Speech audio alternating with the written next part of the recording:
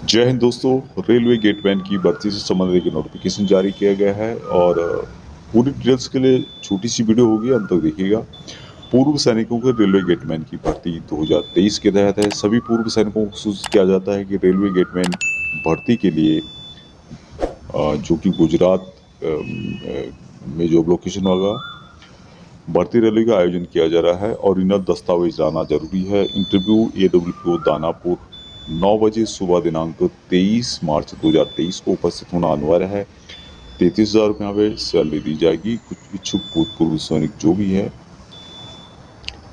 आ, वो इन नंबरों पे आप कांटेक्ट कर सकते हैं। यहाँ पे नंबर दिए गए हैं लैंडलाइन नंबर और मोबाइल नंबर।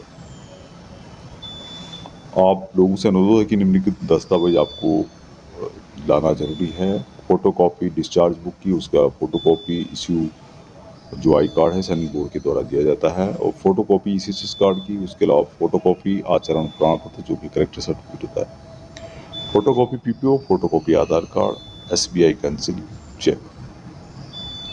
ऊपर दिए गए सभी जो डॉक्यूमेंट बताए गए हैं, चयन के समय दिखाना होगा और एक फ़ोटो कॉपी जमा करनी होगी। इच्छुक भूतपूर्व सैनिक ए डब्ल्यू में रजिस्ट्रेशन होना उनका ज़रूरी है। साथ ही भूतपूर्व सैनिक अपना नाम ए डब्ल्यू कार्यालय में सुबह साढ़े आठ बजे से लेके ढाई बजे दोपहर तक करा सकते हैं। तो ये वैकेंसी दानापुर की ओर से हमें मिली है दोस्तों सोशल मीडिया के माध्यम से।